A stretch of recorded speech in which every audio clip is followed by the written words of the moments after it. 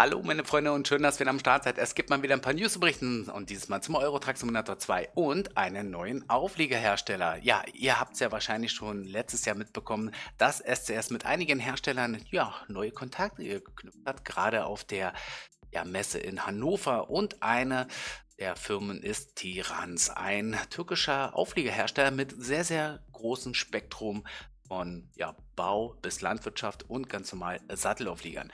SCS freut sich auf jeden Fall mit dieser Zusammenarbeit und in den nächsten Tagen oder Wochen werden wir definitiv auch mehr sehen.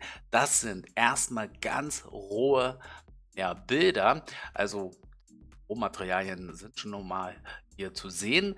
Ähm, da würde ich schon fast sagen, wenn ich jetzt äh, so überlege, wie lange es bei Feldbinder gedauert hat, kann es durchaus sein, dass wir es vielleicht dieses Jahr noch bekommen. Aber naja, warten wir erstmal ab. Der sieht schon ein bisschen detaillierter aus, die Reifen und hier diese Schmutzfänger und die Seitenbekleidung. Aber naja, ist noch alles ziemlich im Rohaufbau. Trotzdem freue ich mich. Neuer Auflieger wird wahrscheinlich ein kostenpflichtiges DLC werden. Wir wissen es nicht. Wir warten einfach mal ab. Ja, findet ihr das auf jeden Fall in Ordnung? Dann, äh, ja, neuer Auflieger. Dann schreibt es in die Kommentare oder gebt dem Video einen Daumen und nicht vergessen, heute bin ich live um 20.30 Uhr. Bis dahin, haut rein, mach's gut. Bye, bye. Knapp, ne?